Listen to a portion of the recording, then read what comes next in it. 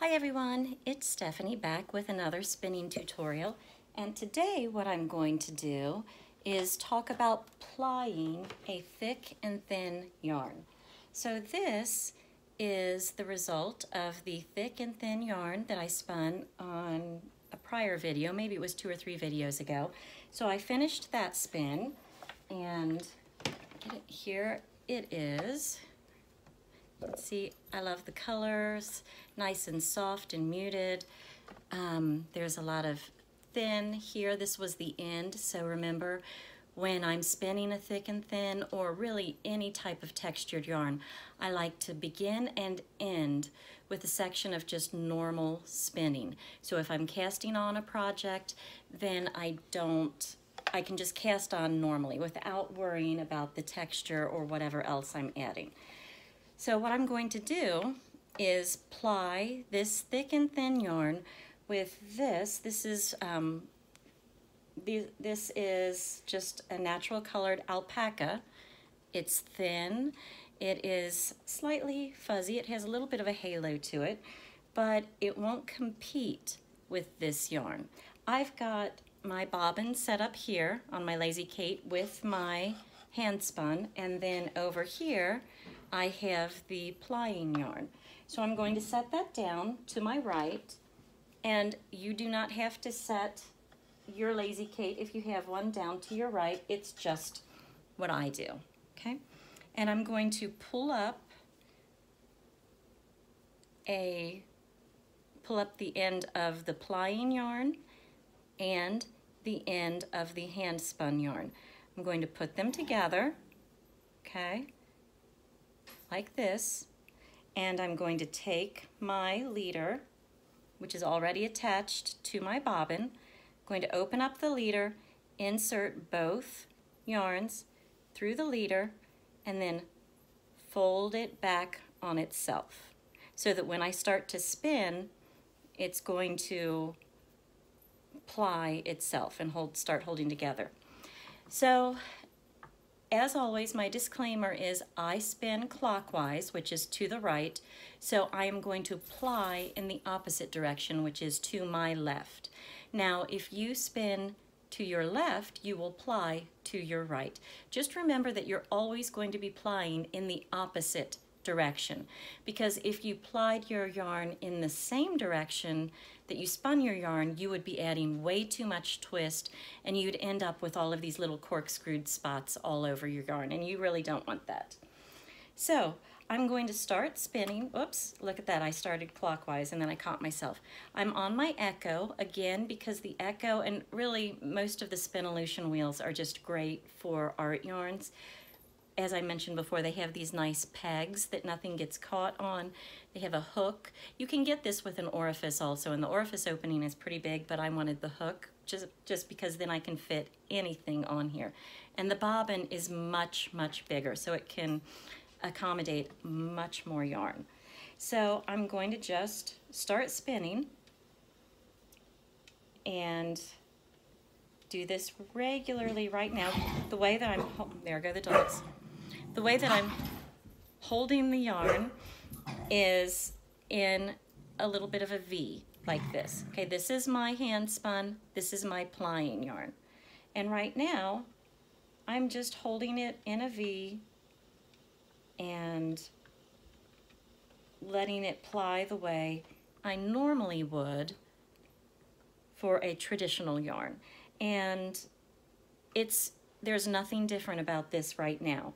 So I'm going to show you a few different ways that you can hold the yarn that will change up the ply and you'll be able to better see that in the thicker sections.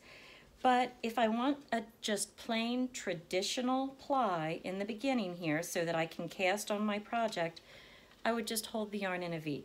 And you can hold it out like this in a wide V, and that's gonna be working closer to the orifice, and your ply is going to be a little tighter, or I can bring it up here, hold it together, even in one hand, and it's going to be a little bit looser of a ply. I'm going to just do somewhere in, the in between right now, being careful not to let my hand spun unwind too much So I'm gonna go kind of quickly here, making sure that it gets on the wheel quickly. And then once we get to the thicker sections, I will show you that when you are doing a ply like this with thick and thin yarn, or really any type of textured art yarn, the main thing that you want to watch is how you are holding your plying thread or your plying yarn. That's what makes the big difference in plying techniques. It's just the way you are holding it. Just as I showed you, if you have a wider V, you're going to have a tighter ply, and if you have a narrower V, v you're going to have a looser ply. The same thing is going to happen if you, um, for example, if you toss the yarn over, or if you hold the plying thread straight and you hold your um, hand spun out to the right, or vice versa. You can change that too it, they all have a different effect. And I'm going to try and get close enough up so that you can see that. But again, it's going to be much more, much more obvious on um, the thick areas of the yarn. You can also get a different effect when plying if you change the amount of tension. For example, if I put more tension on the um, the commercial yarn and less tension on the hand spun yarn. That's going to give me one effect. And if I would reverse it and do the opposite, more tension on the hand spun and less tension on the, um, the commercially prepared, it's going to give me a totally different effect. Here are the dogs in the background again. Okay, so we're coming to the first thick section and what I'm going to do is I'm going to hold this straight. Okay, so I have plied like this in a V for the beginning portion. And I did that on purpose because I want to have pretty much a standard yarn before I get to the textured portion. And I'm gonna see if I can move this so that you can really get a look at the yarn. I don't know if you can see the difference in the color and it's just a nice subtle yarn that we've got going on here. Make sure I get that readjusted. Okay, so focus a little more on my hands so that you can see what I'm doing. So what I'm going to do is I'm going to hold this, my hand spun, straight out from the orifice to my belly button. It's like a straight line. Then I'm going to take my commercially prepared yarn and I'm going to hold that at a 90 degree angle, so out like this. And then we will start, oops, we'll start going. And I'm gonna kind of, I've got a lot more tension on my um, my hand spun than I do on my commercially spun or commercially prepared. And that's what I am wanting right now because what you get, I don't know if you're gonna be able to see it in this light. I am really working on my lighting here to get some better lighting. I don't know if you can see through here where we've got a slight texture going on and that will become more pronounced as I spin. But what happens when you hold your plying yarn out at a 90 degree angle, instead of the, what it does basically is your normal ply is going to be sort of this long, loopy, stretched out, um, I can't ever remember if it's Z or S. I think it's a Z with the plying. But anyway, you're gonna have a longer space in the middle. What this, between the ends of the Z and, or the S, what this does when you hold your yarn to the left is it compresses that amount of space. And it goes into the thick spots in the yarn and it kind of allows little bits in between the plied yarn to plump up. So I'm coming up, I can feel it. See in my hand, I've got this thick, thick space right here, this thick piece. So here I go again. I'm letting the plying yarn pull out this way. So here we are at the thick spot and we are just going to let this wrap around. And there we go. We've got another nice, let me pull this out for you.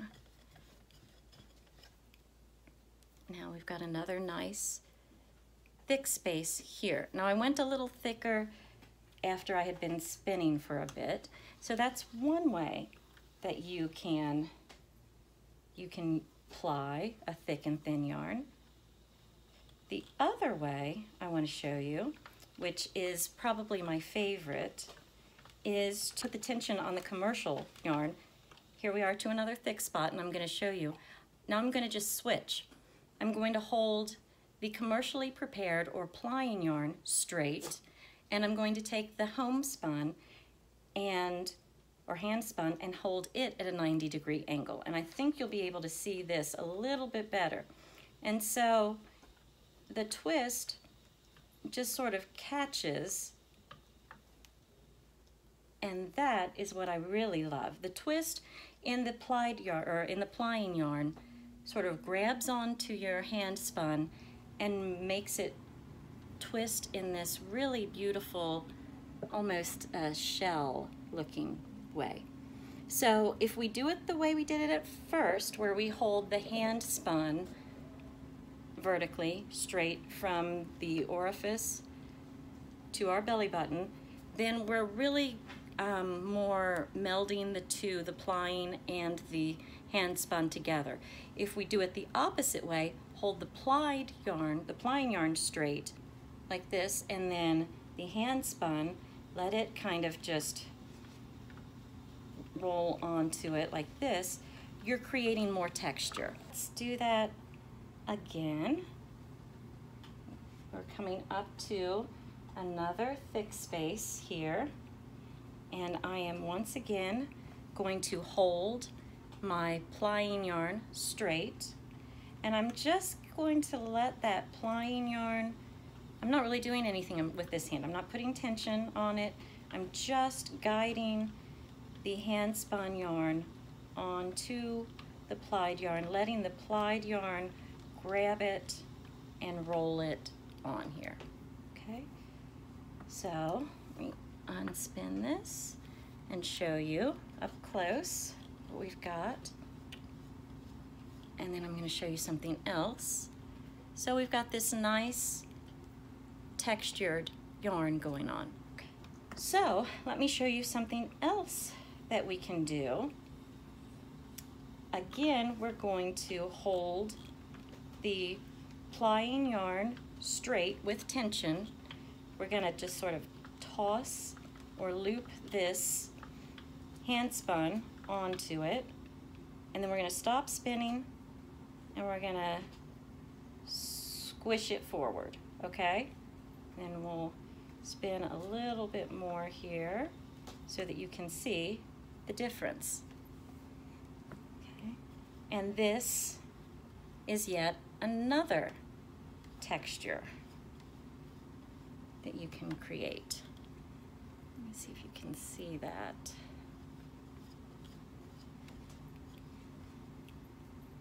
See this section here? All I did was was hold the plying yarn up straight with tension and just push the yarn down together. So you're eliminating all of the space in between the hand spun and you are just making these coils, really tight coiled spots. Here we go. On the yarn. See if you can see that. See? So that's something else you can do. And it, it all, everything we're doing here, we're only changing the hand position for each yarn, okay? Um, and it's up to you which one you want to do. there's not one technique that is better than, an, than the other. It's just however you want the end product to look. So before we sign off here, before I sign off, I want to show you something else that I, that I do, that I think helps with the stability of the yarn so much. Okay, so I'm going to continue holding the plied yarn with tension straight toward my, my belly. I'm gonna put, feed on some of this spun yarn until I get to the beginning of a thick section. And I'm gonna switch, okay?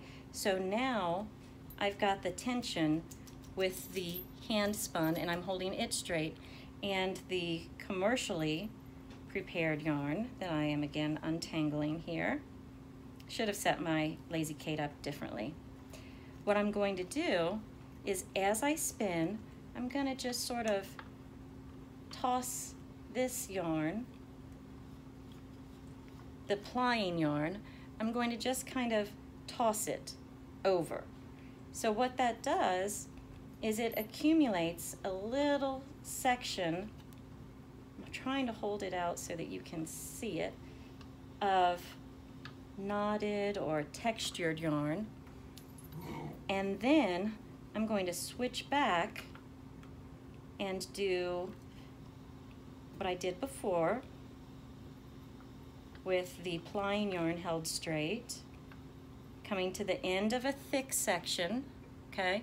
And I'm gonna switch again, hold the tension on the hand spun, and just let a little bit of plying yarn build up, and it creates this kind of like a bobble.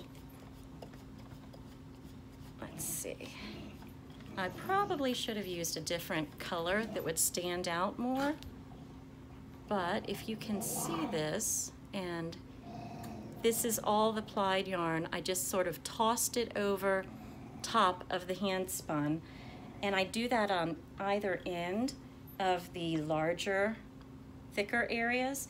And I feel like it kind of bookends the coils and provides a lot of nice stability and structure for the yarn. Because remember, some of these textured yarns that we are creating are not as stable oops, was going the wrong way there.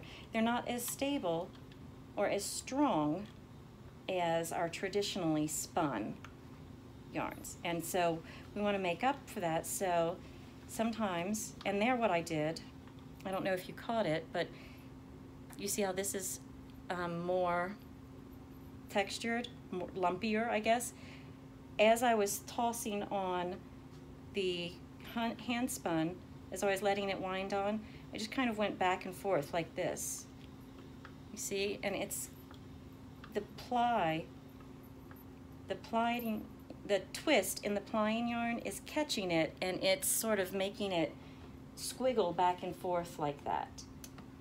So these are all different ways that you can manipulate the texture in your end product simply by changing your hand position.